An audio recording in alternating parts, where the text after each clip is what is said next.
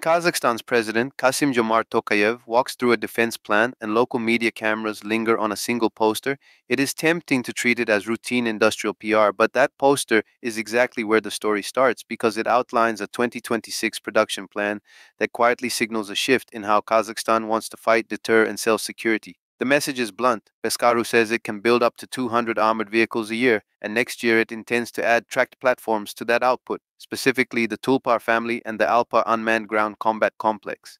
And once you say tracked vehicles plus large combat robots, you are no longer talking about a niche procurement cycle. You're talking about doctrine, geopolitics, and a bet on what the next war will demand. At first glance, the industrial part looks straightforward. Beskharu claims annual capacity not only for wheeled vehicles like the Taimas 8X8 and Ibar 4X4, but also for tracked Tulpar variants. Yet the real signal is not the number, it is the composition.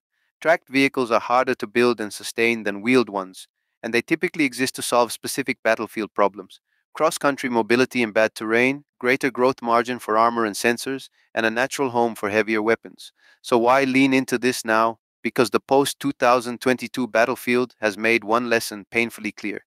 Mobility and protection are not separate variables, they are a single equation that decides whether your forces can close distance under drones, loitering munitions, and precision artillery without being shredded.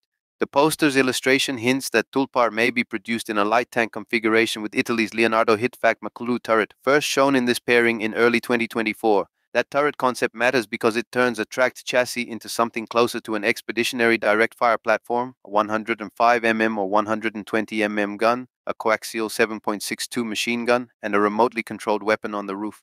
Add a laser warning system and an autoloader with ammunition separated from the crew by an armored compartment and blow off panels, and you get a design philosophy that has one obsession crew survival when the worst happens.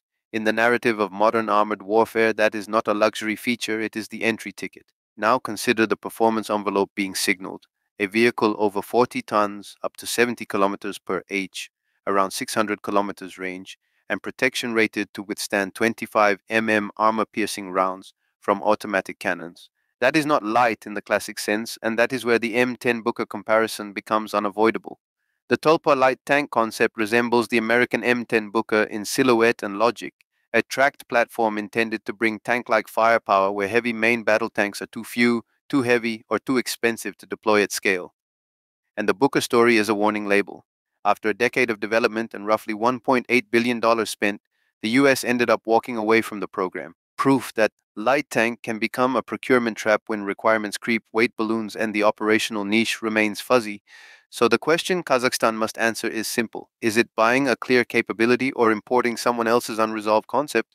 Here is where Tulpar's biggest advantage appears. It is not a single vehicle, it is a platform. The same chassis can take different turrets and mission modules to become an infantry fighting vehicle, an armored personnel carrier, a self-propelled mortar carrier, an air defense platform, a medical evacuation vehicle, a recovery and repair vehicle, a reconnaissance variant, and more. That modularity is often dismissed as marketing, but for a country like Kazakhstan, it is actually strategic. If you can localize production of a common automotive base, engines, transmissions, tracks, suspension, electronics, and then swap mission kits as budgets and threats evolve, you reduce long term dependence and simplify your logistics pipeline. And in a region where supply chains can become political weapons overnight, logistics is politics by other means. Then there is Alpar, and Alpar changes the conversation entirely. On the same poster, the unmanned ground vehicle appears armed like a compact armored fighting vehicle, a 30 mm automatic cannon, two anti-tank guided missiles, and a 7.62 machine gun. Its claim performance, up to 70 km per h and about 500 km range, suggests a platform designed not for slow, cautious engineering support, but for maneuver with mechanized formations. It can link with other unmanned systems. It can be controlled by radio out to roughly 5 kilometers, or via satellite for effectively extended reach, and it can shift roles from logistics to reconnaissance, from UAV carrier to direct fire support. In other words, it is meant to be more than a remote controlled gun cart. It is meant to be a node in a networked force. But networked warfare comes with uncomfortable questions. If a platform satellite link is unlimited, what happens when that link is jammed, spoofed, degraded by weather, or simply targeted by electronic warfare? If radio control is limited to 5 kilometers, is Alpar intended to fight close to its operators, or will it rely on a chain of relays and drones to push control forward? And if the platform is armed with a 30mm cannon and ATGMs, Are we looking at a reconnaissance strike complex where robots probe the front line, trigger enemy fires, and then survive long enough to call in precision strikes? Or are we looking at a system that will be used bluntly as an expendable shield, an armored decoy that forces the opponent to spend expensive munitions on a machine instead of a crew? This is where Kazakhstan's move becomes strategically interesting. Neither Tulpar nor Alpar is a domestic design in the pure sense. They are Turkish Otokar products, and what Beskaru is signaling is licensed production. That is not a weakness by default, it is a method. Licensed production can be a controlled form of technology transfer, a way to build industrial competence without paying the full cost of clean sheet R&D. Turkey's defense industry has become highly active in exactly this type of arrangement offering exportable platforms, partnering on local assembly, and using modular design to fit different customer budgets. In Kazakhstan, positioned between major powers and watching supply chains fracture, has every incentive to diversify. The more your armored fleet depends on a single external ecosystem, the more your national security is hostage to someone else's diplomacy. Yet licensed production also creates a new kind of dependency, a tracked platform is not just steel and tracks, it is sensors, fire control software, thermal imaging, stabilization, communications, and a maintenance ecosystem that must function under field conditions. If Kazakhstan assembles hulls locally but key subsystems remain imported, the real bottleneck may not be factory capacity. It may be access to components, spares, and upgrades when the geopolitical climate shifts. And if the light tank configuration relies on an Italian turret, that adds another layer. Multi country supply chains are resilient in peace and fragile in crisis.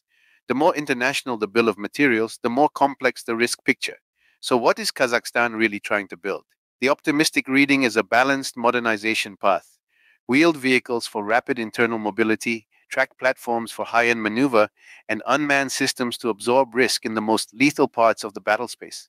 The pragmatic reading is industrial signaling aimed at both domestic legitimacy and export markets. Show capacity, show ambition, and attract regional buyers who want good enough mechanized capability without paying top tier prices. And the cautionary reading is that Kazakhstan may be stepping into the same conceptual swamp that swallowed the M10 Booker, a light tank that is heavy, expensive, and doctrinally awkward unless it is tied to a precise operational concept. But here's the real takeaway. Even if the poster is only an illustration and the final configurations differ, the direction is unmistakable. Kazakhstan is positioning itself not merely as a consumer of armored systems, but as a producer, one that wants tracked vehicles and armed robots in its portfolio at the same time. That combination reflects the emerging logic of land warfare. Protection must scale, firepower must be flexible, and unmanned systems must integrate rather than operate as gimmicks. The decisive question for 2026 will not be whether Beskaru can start production. It will be whether Kazakhstan can turn these platforms into a coherent force design where Tulpar variants and Alpar robots are not separate procurement trophies but complementary tools in a doctrine built for a battlefield that is increasingly transparent, electronically contested, and brutally unforgiving.